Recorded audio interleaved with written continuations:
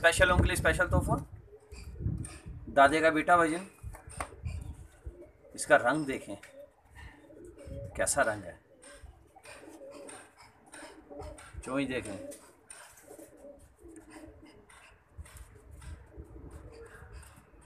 देख रहे हैं।